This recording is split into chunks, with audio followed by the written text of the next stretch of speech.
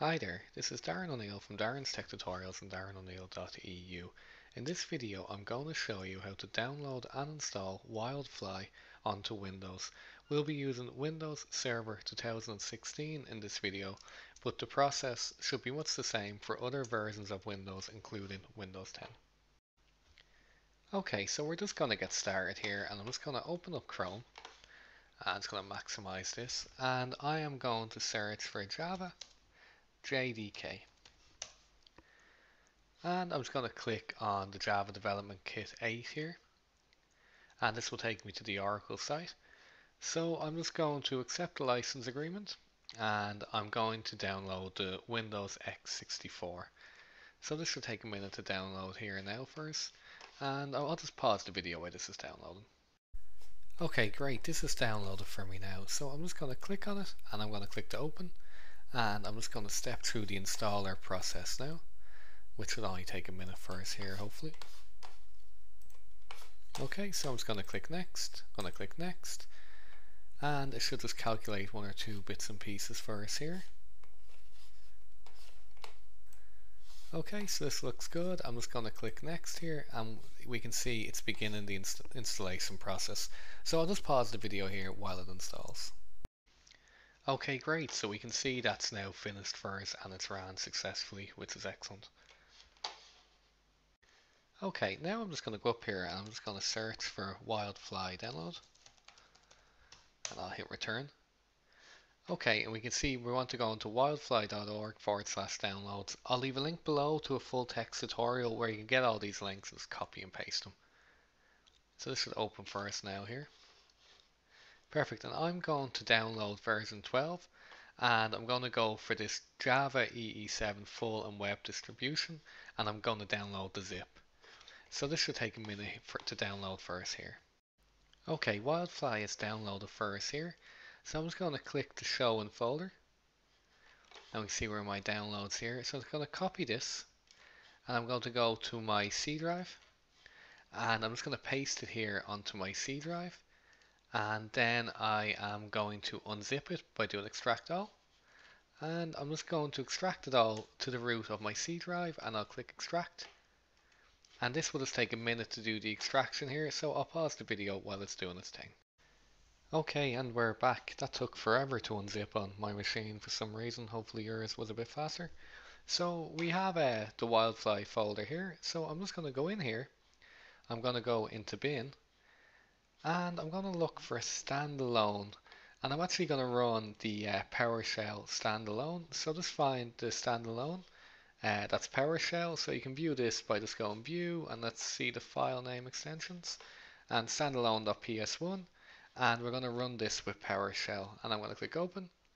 And hopefully now this will run uh, Wildfly in standalone mode for us. Uh, if you get this prompt I'm just going to type Y for yes and it should begin to run uh, Wildfly for us now hopefully. Okay this looks good. Um, we can see it looks like it started here. So I'm just going to go back to my browser and I'm going to go to localhost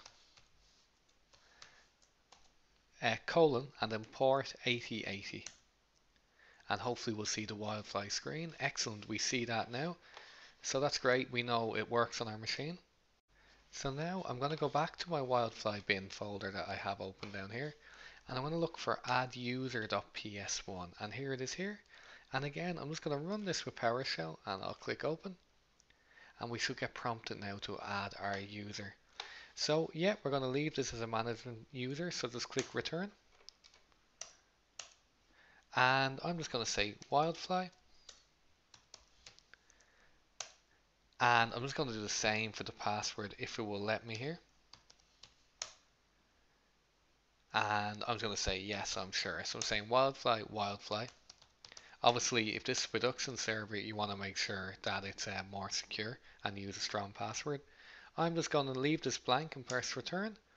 And I'm going to say yes we want to add the user to the management realm. Okay and we're going to say yes here as well Perfect, so that looks like it's worked for us and we can test that now.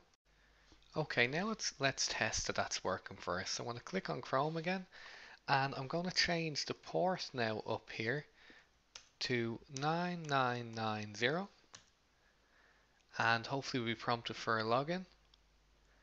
Okay, so I'm going to put in wildfly and wildfly and see if I can sign in. And this looks good. We can sign in so we know we can access the uh, management interface. Okay, so I'm just going to minimize Chrome here. And I'm just going to go back to my PowerShell window and I'm going to press Control and C together to kill the Wildfly process. So we've done that now. So now let's install Wildfly as a service on our Windows machine. Okay, so we're nearly there with our install. So we're now just going to go back up one level. We're going to go into Docs, uh, Contrib, Scripts, and we're going to copy this service folder. And we're going to go back to Wildfly and we're going to go back into bin. And we're going to paste this folder into our bin directory. So we're then going to go into our service folder and we're going to open a command prompt here and we're then going to run service.bat install and this looks good. We can see we've now installed our wildfly service. Okay so let's now just make sure that everything's running. So I'm going to open my start menu here. I'm going to type in services.msc and I'll click on them here. And let's make sure we have a wildfly service and we do. So let's make sure we can start this. So I'm going to do start and hopefully this will start up for us here and it has so I'm also going to come down to properties and I'm going to change it to automatic so that when we reboot the server wildfly will start and I'm going to click apply and OK and let me just go back to my browser here and let's type in we'll type in localhost 80 port 8080 and hopefully Wildfly will be up us here. Perfect, and it looks like it's okay for us. Let's check the other interface, which is 9990.